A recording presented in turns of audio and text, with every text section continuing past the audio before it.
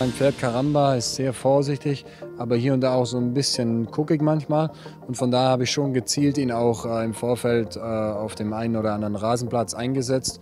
Und äh, ja, das hat sich immer gut angefühlt. Also ich habe mich ein bisschen intensiver darauf vorbereitet, würde ich sagen, aber ich habe jetzt nicht unheimlich viel mehr Druck gespürt. Nee.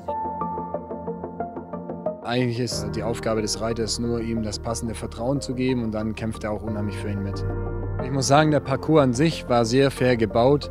Natürlich kommt für uns junge Reiter hier dann vieles zusammen. Gestern das Einlaufspringen, da verspürt jeder noch ein bisschen weniger Druck und das Springen ist auch ein bisschen einfacher. Dann gab es schon recht viele Nullrunden.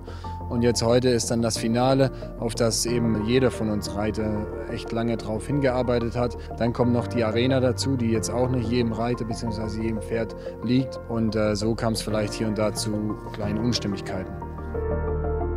Es ist einfach für uns jungen Reiter bzw. die, die aus dem jungen Reiteralter rauswachsen in das Seniorenlager, einfach in der Sparte noch U25 sind, sehr wichtig, um Erfahrung zu sammeln auf diesen Turnierplätzen. Ein Traum war es sowieso schon mal hier einzureiten. Da ging schon, wie gesagt, schon mal ein Traum in Erfüllung. Und dann einmal den Rolex Grand Prix zu reiten, ist natürlich noch ein weiteres Ziel, worauf wir fleißig weiter hinarbeiten.